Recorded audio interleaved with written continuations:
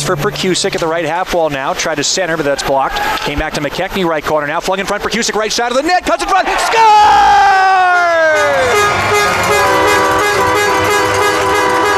Yeah, it's actually funny. I um, I was never recruited to come play here. Um, I just knew that uh, how good of an organization it was. So um, I asked my my stepdad actually if he could reach out to Ryan and uh, see if I could get a spring spring camp invitation.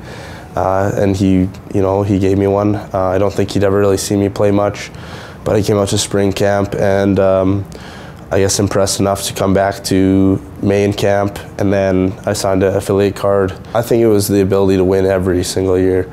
Um, like even if it's people say it's a rebuilding year or something like that, it, there isn't that here. Um, it's just a reload year. Um, every year has a different look, a different kind of style almost, but um, uh, that's the consistent winning is kind of what drew me in.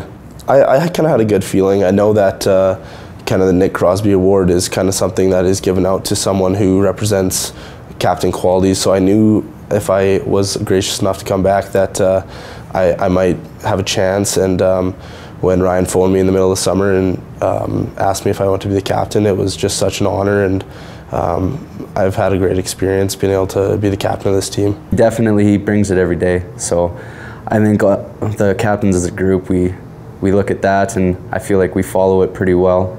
I feel like uh, as long as we our captain is leading by example, it'll it'll make our team lead by example for sure. And I feel like we've definitely done that. He's a great example on and off the ice, and he's definitely helped me on the ice if I'm doing something wrong, and then also off the ice, just being being a good person and good in town.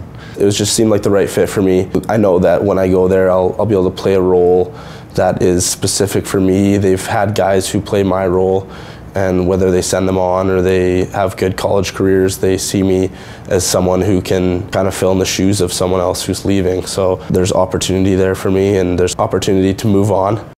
And uh, I think that's something that I really liked. Something that I've always done since I've been here is just worked on keep getting better, keep getting better. And uh, I think when we lost out in the finals the first year, the next year we all came back with a hunger for um, winning a championship. We won a championship and now we lose it in the RBC. And now this year, you know, it's time to, uh, time to take the next step and uh, bring home the cup.